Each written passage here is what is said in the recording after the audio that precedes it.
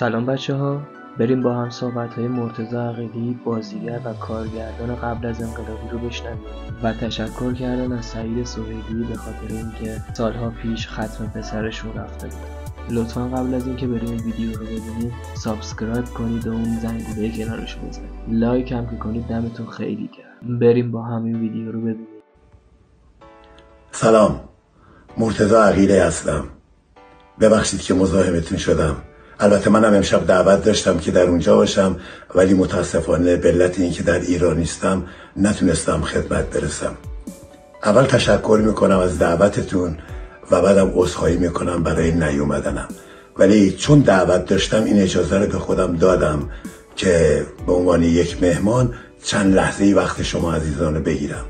امشب شب بسیار بزرگیه برای من چون یکی از دوستان من دوستان خوب من و صادق من یک انسان واقعی یک آدم منصف یک کارگردان خوب یک هنرمند والا یک تهیه کننده آقای سعید سهیلی که من خیلیشون رو دوست دارم و به افکارشون به عشقشون به بچه های قدیم احترام می‌ذارم.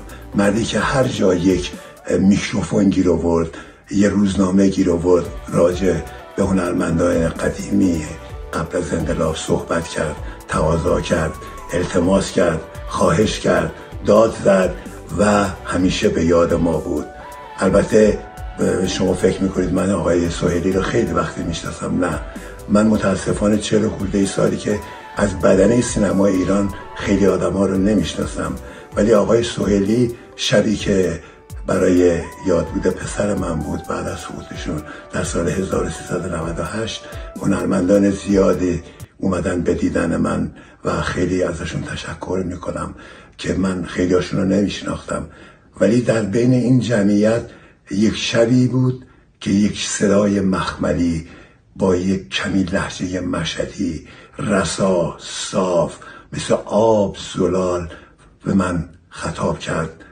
آقای مرتزا عقیدی و شروع کرد به صحبت کردن و حرفهایی زد که دل یخزده منو کم کم گرم کرد و بعد از این منو ول نکرد. همیشه حالمو پرسید همیشه سراغمو گرفت حتی برای تولدم مهمانی گرفت و عده از هنرمندان عزیز رو دعوت کرد و منو شرمنده خودش کرد. به حال نه اون موقع من قرار بود در ایران کار بکنم که بگم به خاطر اینکه با من بخواد کار بکنه این کارا رو برای من کرد. نه توقعی داشت ولی انسان بود دوست داشت دلی هنرمندای قبل از انقلاب و دوست داشت.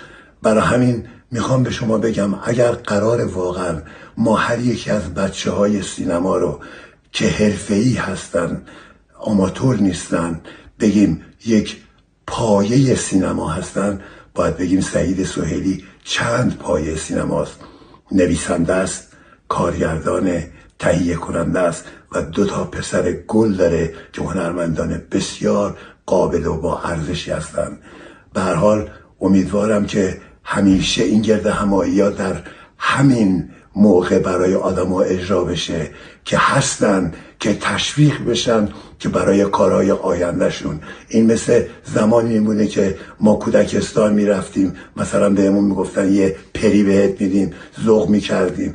این ذوق میاره. وقتی آدم می‌دونه که قدرشو می‌دونن در زنده بودنش خیلی بهتر از اینه که خدایی نکرده. بزرگداشت برای کسی بگیرید که قاب عکسش بذارید که خودش نباشه. از راه دور روی همتون رو میبوسم. آقای سعید سهیلی عزیزم خیلی دوست دارم. به قول مالاتا چاکرتم. مرسی که تا پایان این ویدیو همراه ما بودید. دمتون گرم دمتون گرم دمتون گرم.